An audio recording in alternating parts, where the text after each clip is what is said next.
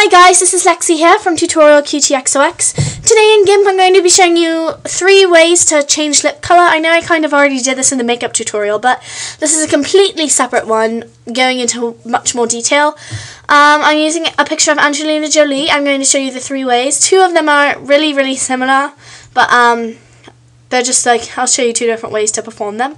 So um, one way that I did in the um, makeup tutorial was I went um, and I did layer, new layer, make sure it's transparent.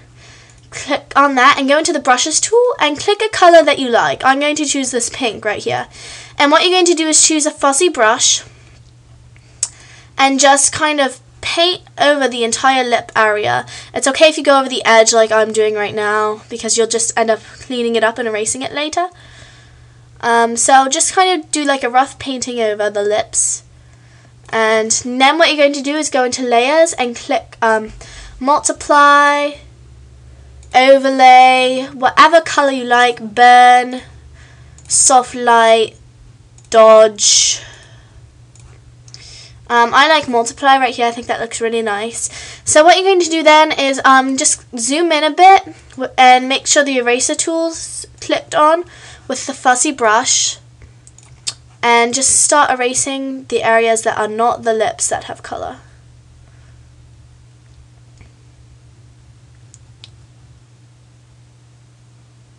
Like right there. Um, obviously take more time than I am right now. Just kind of messed up right there, but it's okay. Um, if you mess up, you can always go back into the paintbrush tool and kind of paint over the colour again. But, um, yeah. So that's basically how you do this. I think it looks really nice. You don't have to choose um, multiply for your effect. You can choose overlay, um, dodge, burn, whatever you like that looks good. Okay, I definitely missed some right here. So I'm going to go back into the paintbrush tool and just paint over that, make this smaller, and just paint this on again.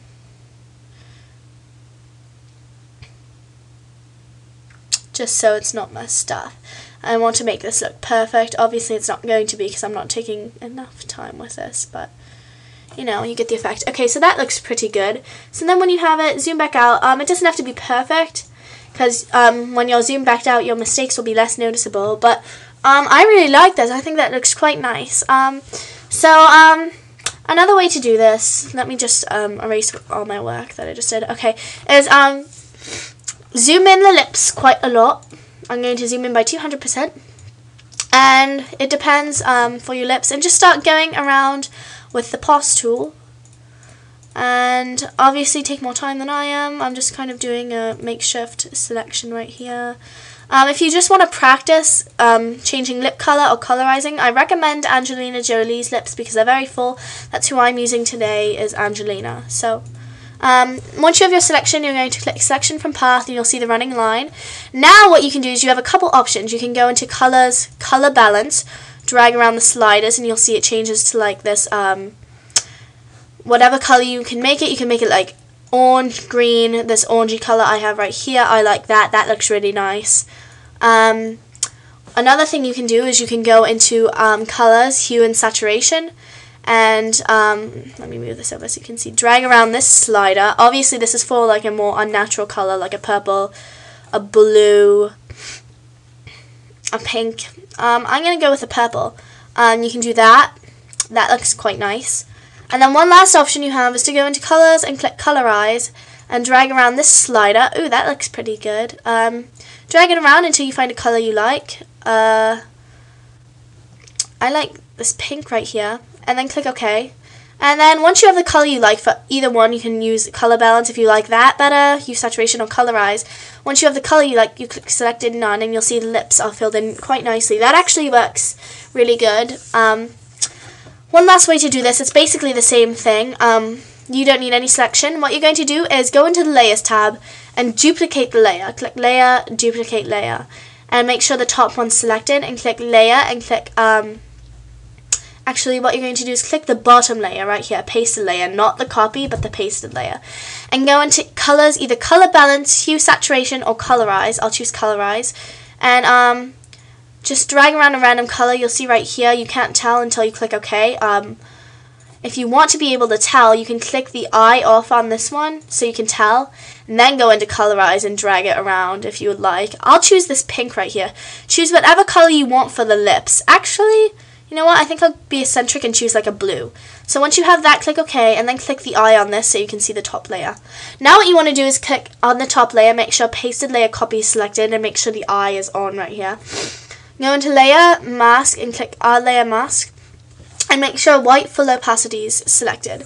Now you have this layer mask right here and what you're going to do is since this is white you're going to go into the paintbrush tool make sure your foreground color is black you need it to be black and what you're going to do is make the brush a little bit bigger and start um, painting over the lip area and you'll see it changes to this blue because on your layers tab um, you're pretty much erasing the white mask around this area so you can have the blue.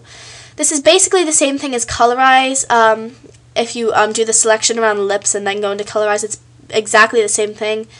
Um, you can just um, do this if you want. It's faster, and then go with the eraser tool and erase around the lips if you want, which is what I'm going to do. Go into the eraser and then just kind of erase where you got over the edge, whatever. Um, I'm not going to take too much time with this. I think it's a lot easier to do this um, paths tool and then go into colorize rather than adding the layer mask. This is just another way to do this if you want to, but I think this is actually a lot more challenging to remember. So I like doing the um, other method better. I kind of miss some of the lips, but whatever. You get the you get the point. Um, yeah, you just choose whatever color you want. This is just another way to do this. I actually like the selection better. I like doing the other way better, where it was like this, and you go into colors, colorize, and then drag it around, because I think it's a lot easier than doing the layer mask, but that's just another way to do it. So once you have that again, um, that's just the three ways to change lip color, and I think all of them work pretty well, but um, that's basically it. So thanks for watching, please comment, rate, subscribe, and request.